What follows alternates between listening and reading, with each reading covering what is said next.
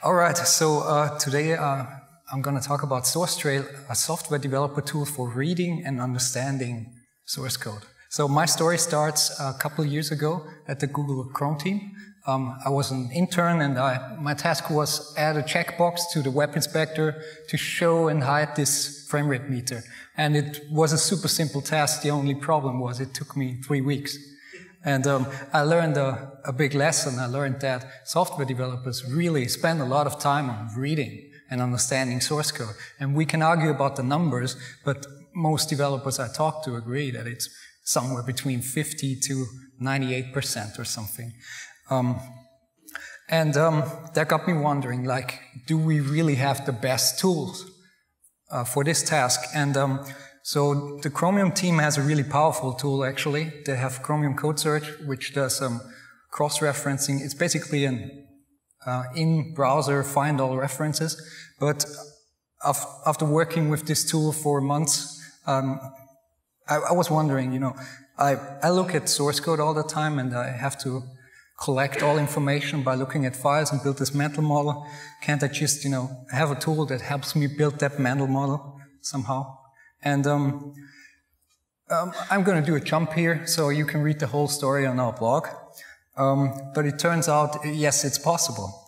And um, so um, our result is SourceTrail, which is an offline cross-platform developer tool. And what it does is it indexes your source code. Um, it uses Clang lib tooling to retrieve all the information about which classes exist and how they reference each, each other. And the user interface is then made for simple navigation and exploration consisting of search, code, and graph. And demo time. All right.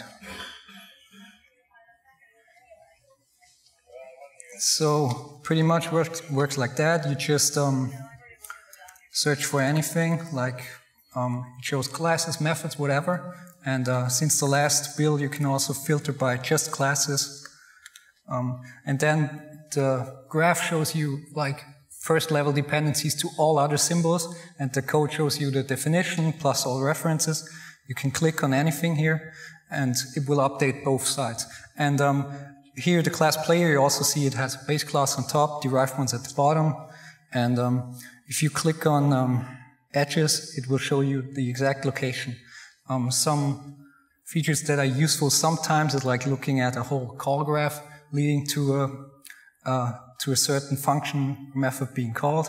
Um, you can do the same thing with um, classes and see like the whole um, inheritance chain. Like this information, just the information in the graph is um, scattered between four files or something. So the graph really um, helps in seeing the bigger picture of things. Um, and lastly, you guys like templates. So for template classes, you can also see implicit specializations, um, and you can see where they are used. All right, um, I could go on for probably an hour, but um, time is short. All right, so um, we have an intro video um, where I show more of, of, the tool, if you're interested. And so SourceTrail is already a tool that is um, that you can download and use, and that's helpful. But at the same time, it's still um, in heavy development, and we add new features with every new release. So um, I'd be happy to have to you having a look and give uh, give me some feedback. And um, everything I just showed you, you can find on sourcetrail.com. And thank you for listening.